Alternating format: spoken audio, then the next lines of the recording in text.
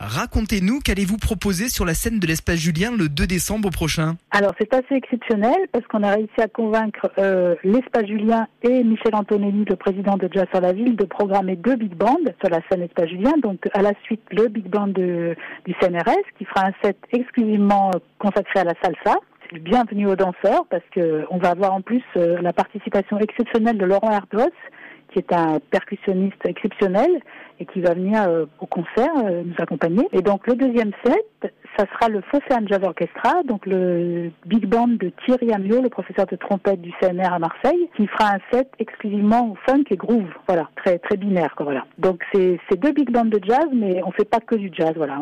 On, propose euh, une ouverture sur d'autres styles qui sont pas souvent joués par les big bands de, régionaux et même même nationaux, quoi, voilà. Et donc je tiens à préciser que ce sont donc les deux big bands marseillais, exclusivement marseillais Bon, évidemment, tous les musiciens habitent à Marseille ou dans les environs. Ça ne veut pas dire qu'on est tous nés à Marseille, hein, mais voilà, on, travaille, enfin, on répète à Marseille, on joue dans la région, on, est marseillais, quoi. Voilà. Ce n'est pas trop compliqué de se retrouver comme ça, si nombreux euh, sur scène. On s'organise comment?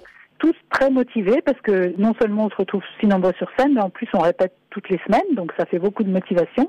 Et ben voilà, c'était une grosse, pour moi c'était une très grosse organisation. J'espère que ça va être réussi.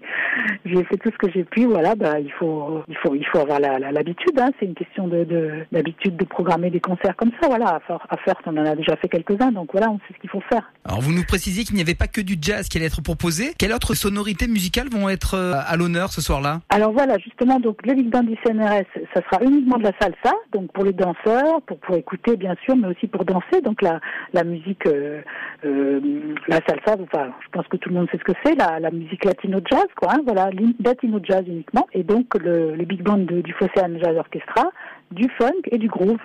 Du, du, binaire, quoi, voilà. Et comment est né le Big Band du CNRS de Marseille? Alors, le Big Band du CNRS de Marseille a été créé il y a deux ans seulement. On est tout jeune, mais déjà, on, on a bien avancé par Patty Coburn, qui est donc euh, directeur de recherche au CNRS et musicien, trompettiste, compositeur et arrangeur, et qui a souhaité créer cet orchestre.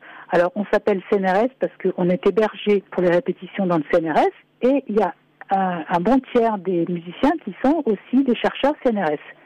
Il y a un autre tiers des musiciens, ce sont des musiciens professionnels et le tiers restant des amateurs de, de très bon niveau. Peut-on dire qu'au CNRS de Marseille, la science est intimement liée à la musique? Oui, bien sûr, parce qu'en plus, nous proposons euh, des conférences-concerts avec un sujet qui est lié à la musique. Donc, on a déjà proposé des, une conférence suivie d'un concert. Par exemple, le sujet, c'était la musique et le cerveau, comment la musique influence le cerveau. Nous avons aussi proposé à l'Alcazar, à la, bibliothèque de l'Alcazar, une conférence sur l'acoustique des instruments de musique. Donc voilà, tout ça, c'est lié. Et en plus, euh, euh euh, voilà, c'est au niveau au niveau rayonnement international, enfin j'exagère un peu, national et international, disons, c'est bien aussi pour le CNRS d'avoir un, de montrer que non seulement Marseille est une ville de haut niveau scientifique, mais aussi qu'il y a une ouverture sur les sur les loisirs pour les chercheurs, enfin sur les voilà, c'est aussi un haut niveau musical, voilà. Quels sont vos projets et où peut-on suivre les aventures musicales du big band du CNRS de Marseille? Alors les projets, bah, le prochain concert, on est on est à la Roque d'Anteron euh, fin décembre.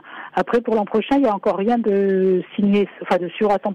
Voilà, donc je peux pas vous dire. Voilà, mais si la, la, seule, la seule date qui est certaine, ça sera justement une conférence-concert le samedi 24 mars 2018 au Rouge Belle de Mai. Euh, le sujet n'est pas encore défini, mais ça sera un sujet donc euh, scientifique en rapport avec la musique. Sinon, il y a un site évidemment qui s'appelle BBCNRS où il y a toutes les toutes les dates, voilà, et sur Facebook aussi. On va terminer par un message à l'attention des auditeurs maritima ben, pour les inciter à venir vous applaudir hein, dans quelques jours euh, du côté de l'espace Julien de Marseille. Vous avez envie de leur dire quoi? Eh bien, venez faire la fête parce qu'avec le Big Band du CNRS, c'est toujours la fête. Un Big Band très jeune.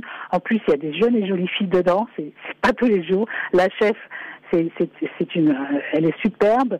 On a une jeune trompettiste de 21 ans. Voilà, c'est intergénérationnel. C'est la fête, quoi. Dès, dès qu'on se déplace, c'est la fête.